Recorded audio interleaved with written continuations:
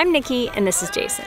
In 2016, we bought a sailboat with absolutely no experience and set off to explore the world. So far, we've sailed to seven countries and put over 13,000 nautical miles under our hulls. We had no idea what to expect or how to budget for such an unknown lifestyle. Our first year was the most expensive of our lives. Learning and outfitting our new home so she would be self sufficient took endless days and months. But all those off grid mods are what saves us money now. We're able to live at anchor, harness our power from the sun, and turn seawater into drinking water. So the big question is now that we've been living this adventurous life at sea for four years, what does it cost? All right, before we get started, there are a few things you need to know, and the most important is that you can do this on any budget. Yeah, we've been cruising with $5,000 boats and $50 million boats, and that is not an exaggeration. No, so look, results are gonna vary because how we spend money and how you spend money will inevitably be different. So one size doesn't fit all, and keep that in mind as we go through all of this. But whatever you're spending right now, you can probably live an alternative lifestyle on the same budget. Yeah, and we say that because we've been living an alternative lifestyle for 10 years 10 now. Years. The first six years were RVing around North America, and then we transitioned into a boat, and we've been sailing for the last four. And I've kept track of expenses the entire time, and when I looked back, I was just, I was surprised. I thought, holy cow, we've been basically living on the same budget the whole time. Like, mm-hmm. sure, certain categories have gone up and down based on the RV or the sailboat, but in mm-hmm. general, we're spending the same amount of money. Yeah, and it's really wild because it's a less expensive lifestyle than when we were back in our sticks and bricks in Dallas, Texas, long before we started this whole thing. now, we're not on a shoestring. If you've seen our videos, you know, yeah. but we are living on a fixed budget. Yeah. So whether you're just curious or you're planning for yourself, this is our living and boat costs. All right, let's start with boat costs and our biggest expense, which is boat insurance. And it's a complete, total pain in the... Arse. yep. yeah. and we could do an entire video just on boat insurance. It's a pain in the arse because it has gotten more expensive and has been more difficult every single year, which is contrary to what we were told to expect. And the general rule of thumb is 1 to 3% of the value of your boat is what you should expect to pay in insurance. And year one, we had no experience and we were at like 1.5%. And then it just went up and up, and now we're over 2%. Yeah. So if you're a newbie, we would definitely recommend budgeting for 3%. Yeah. Of the value of your boat. Did we say that? Yes, we did. Okay, good. we also have another policy called renter's insurance, and that covers things like cameras, computers, wedding rings, things that aren't attached to the boat. And things that we take to land and could accidentally drop in the water. Get or, stolen. Yeah, accidental theft, damage, whatever. Um, so it has all of those benefits plus a few extras and it was way cheaper than trying to add that type of coverage onto our boat policy because when we did that it just really became astronomical. Yeah, but we can go into way more depth if we decide to make a video on it. If you tell us to make a video on, leave a comment down below if you want to know more. Exactly.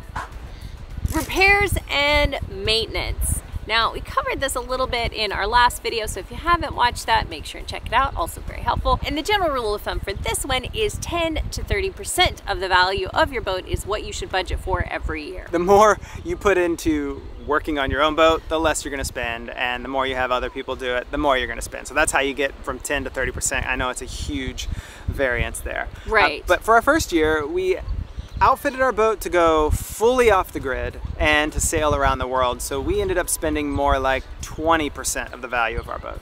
Right, which was like navigation, solar and lithium, rigging, feathering props, new sails, composting toilet, underwater lights, rub rails, dude, blah, so blah. on and so forth. Yeah, so it was a lot, a lot to get us to that 20%. So that was a tough year. yeah, but the past two years have been, well, we got off easy because like we're under 2% of the value of our boat for the past two years. So that's like feels good. It helps kind of make up for that first year a little bit, but it's not that we didn't have anything break, but it's that we did all of the work ourselves and we didn't have that much that broke.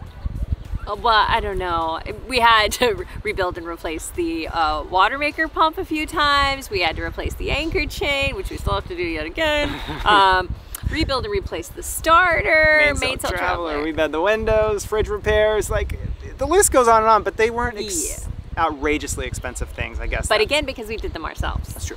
Yeah. That's true. But next year will be a completely different story, and I would guess we're going to be on that 10 to 15. Yeah. Range just because we have a lot of like bigger maintenance and upgrades to take care of. Um, Replacing the chain again. We have to actually replace the windows this time. Yep, and we've got leaky hatches that were we didn't replace before, we left. Anyway, so it's like you just Refrigeration's a lot every more. few years you're gonna have some big stuff come up, and so it kind of averages out in the wash over the grand scheme of things. But so take it or leave it. That's what it is. I hate this category. bureaucracy. this includes all of the government fees for checking in and checking out of ports and into new countries. Let me tell you, it's the most fun you will ever spend your money on. No, that's a lie. Basically anybody with a badge, they come and collect money. And like it's not always a painful process. Yeah. Sometimes it is actually Enjoyable. Enjoyable, You get yeah. to meet a local and ask him where his favorite restaurant is. Like, right. It's like your first point of contact in a new country. So it is exciting. There's things like the health minister, customs, immigration, base, visas, biosecurity. Waste authority. Yeah, I mean, there's so many different things that you have to pay fees for, and this is all stuff you just don't ever have to deal with if you're just hopping on a plane and flying somewhere. So it is very different, and there are a lot of fees associated with all of this. And also in this category is our Panama Canal transit fees, which we did without an agent. Um, so we It was less money than it would have been otherwise. way less money. So that's in there. And also our U.S. Coast Guard registration, which is almost nothing every year. And then our dinghy registration in Delaware. Yep. Dockage. So this one covers marina fees, which for us is super rare Feels because like we never go to them. Yeah, I would say 95% of our time is spent at anchor. We really only go to a dock because we have boat repairs we need to make, and a dock is just the best place to do that particular set of maintenance or Like repairs. when we replace the chain, the anchor chain. The first yeah, time. exactly. You need to kind of be on a dock for that kind of a thing. This also includes a dinghy dock. Most dinghy docks are free, but some charge you, and just depending on where you are, it can be actually a lot of money. So Yeah. that's in there. Mooring balls. Mooring balls, yeah. So every once in a while, your only option is to grab a mooring ball because maybe they're trying to protect the reef, or you're in an, like a marine park, or you're anchoring up a river, and that's your only option. And because you're either going to pay an anchoring fee or you're going to pay a mooring ball fee, and you might as well grab that mooring ball. And like in Ecuador for us. yeah. And this also includes the haul out fee that we were charged in Tonga when we hauled out our boat for cyclone season. Yeah.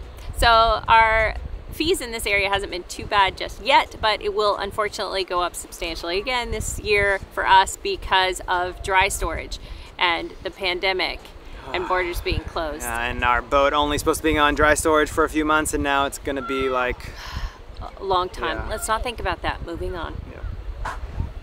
Fuel. Because we're a sailboat and we're off grid, we don't use much fuel, or at least I, I don't think we use that much fuel, or way less fuel than we use in the RV, that's for sure. Well, I mean, we're not driving around anymore, but yes, we do try to sail and pick our weather windows so that we don't have to motor often. Um, and so we have this broken up into two categories. We've got diesel and gasoline. Diesel is it, that's running our generator, at which we do about twice a week just to exercise the generator, make sure it's still in good working condition, and to run our water maker because we have to run the water maker twice a week, basically every three to four days. Yep. And then you know the occasional motor sail. Uh, Wind doesn't always work out. Mother Nature's not always it's working it's with us. a prediction, not a premonition, as they usually say with the weather. Uh, and we also use the engines to go in and out of port or to anchor and pull the anchor up. So we use the engines in little bursts often. Yeah. And then gasoline, that is our dinghy and our scuba compressor also is a gas engine. So that's where that comes in. I mean, it's incredible. Like the dinghy is our car, and we used almost no gasoline. It just blows me. Yeah. Anyway, it's a great lifestyle. I love it. All right, now we're jumping into the living expenses.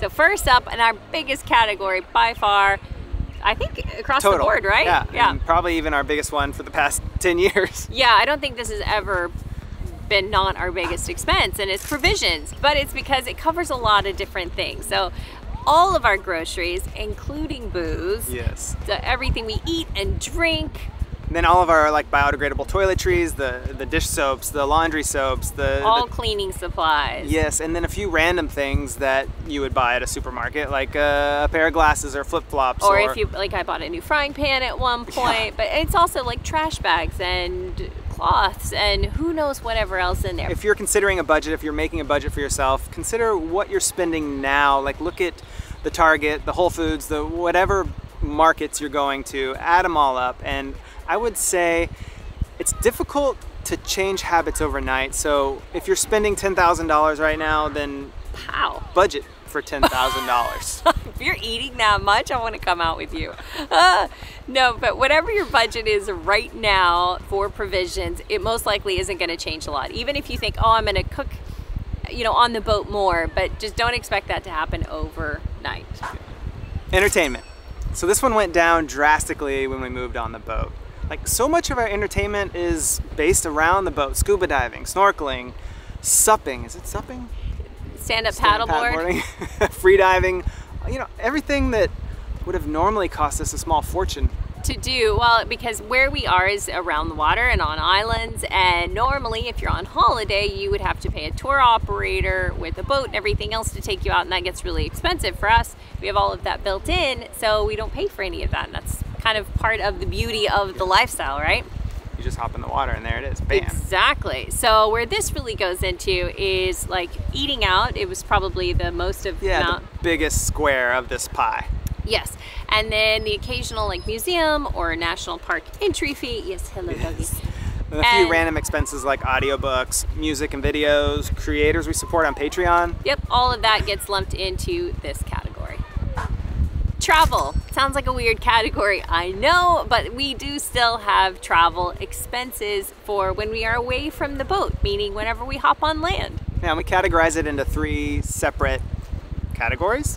the first one being land travel. Like sometimes we have to go inland to explore. Like we're drawn to the mountains or drawn to whatever we see on land. Yeah, we want to go set foot on a glacier, or when whenever we visited the cloud forest and all coffee, the coffee farms. farms. Oh, so Yeah. much. Oh, yeah.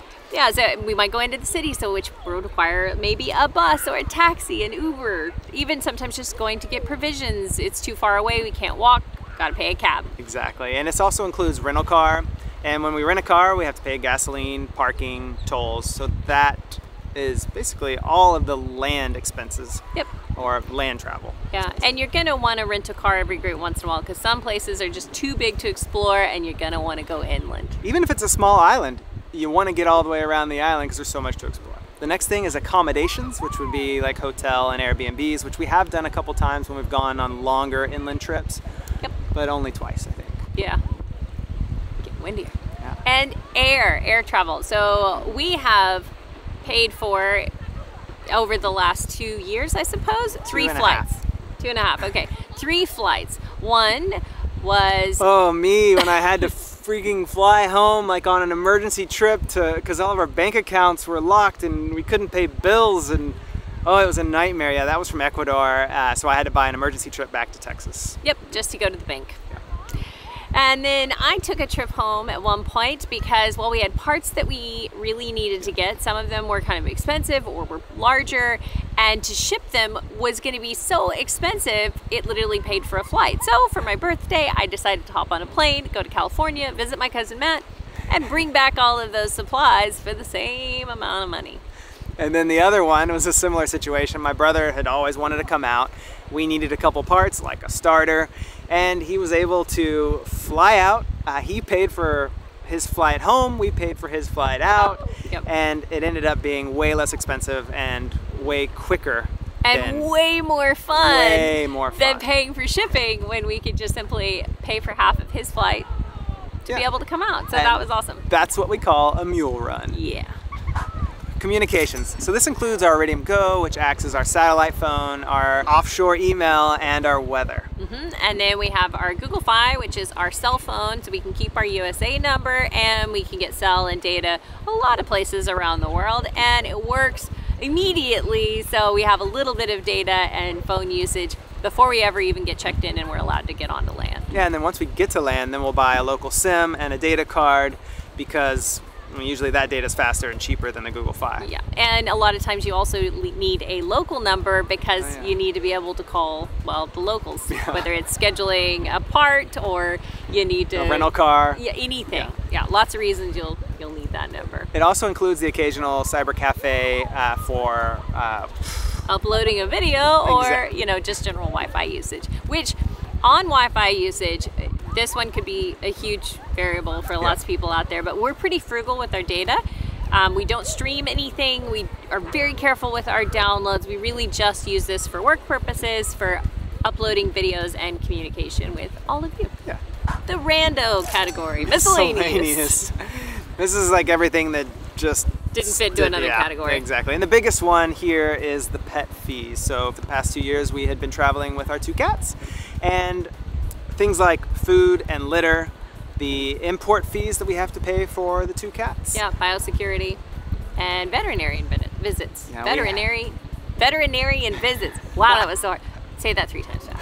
And we definitely visited a few veterinarians because we had to get them microchipped. We had to get them prepared to be accepted to French Polynesia. Yeah. Uh, and then we had to have Blood the tests. blood tests. And Yeah. So on and so forth. So anyway, lots of things associated with traveling with your pets. So if you don't travel with pets, then you can, you know, eliminate that slice of the pie. This also includes bank fees. Um, once we started traveling by boat, then we had to start sending wires, uh, which I'd never really done before. So we've got a few wire fees. Uh, we have some credit card foreign transaction fees, FTFs, if you're in the know. now I have a new credit card that doesn't have FTFs, but back then I, anyway. And a few ATM fees. I have a no fee ATM card, but sometimes it doesn't work in the ATM machine, so there yeah, you go. you'll end up with a few random ones. What are you laughing about? My hair? Oh, and then the last one is postage and shipping. Let me just tell you so many people say, hey, just ship a thumb drive back with all your videos. Well, it's not that No. easy. shipping internationally, especially to remote islands, whether you're shipping in or you're shipping out, one, it takes way longer and it's horribly expensive. Like, we got a small box that was like 150 bucks to Oh. here into Fiji, and then Jason sent like yeah, I got a I got a doc, boat documentation, our mm-hmm. Coast Guard thing that I needed before we could check out, and it cost $120 to mail it. Yeah. So it is expensive, and we try not to do very much of it, obviously, but there will be a few here and there. Last and certainly not least is healthcare, and this one could be its own video because It's a, kind of a a big, doozy. yeah, long, arduous process and conversation. But anyway, we have a health insurance policy, and we didn't in the beginning, but we found out whenever we were doing all of our paperwork for Ecuador, they had a new law that was coming into effect that required you to, sh- prove, prove. that you had health care before they would approve you to come into the country. So we signed up, we got a great plan, so I think, that covers us anywhere in the world except for the US. USA. That is a statement, right? That's the only way we can keep it affordable. Otherwise, it just like whoosh. skyrocketed. Yep. Yeah, so it's just a catastrophic plan, so that means if we are out and something happens, then we have to pay for basically everything until we get to a certain amount, and then I from there, it's like ten thousand dollars is our Something like deductible. yeah, you can do like five or ten thousand dollars. I can't remember yeah, what and we then the insurance plan kicks in, and like that really came in handy, or will come in handy if something happens on the boat and we have to be care flighted, flit, care flit, care flit. care flight. If yeah, if you need a care flight. or if you have to be hospitalized, all of that can add up really quickly. Then a catastrophic plan comes in in those situations. And then, of course, because it is a catastrophic plan, it means we pay for all of the small stuff out of our own pocket. like the vaccinations we had in Panama. Uh, we visited a dermatologist in Panama because, well, we're sailors and we're constantly exposed to the sun. So, it's, So very important to get checked because you know we're pasty. yeah. And then there's that one time that Nikki had to go to the emergency room. Yes, because I'm allergic to all sorts of things. In the world's most Rhode Island. Yeah. no big deal. Uh, but it was a great experience, super affordable. Um, but all of those costs are included in here because every once in a while you find out you're allergic to something new or whatever. and then, of course, the pharmacy visits that we've paid for out of pocket are in this as well for gels and creams and stuff for her. What? Cut yourself every once in a while too. headache medicine, you know, miscellaneous stuff. Anyway, pharmacy you get stuff, Pharmacy.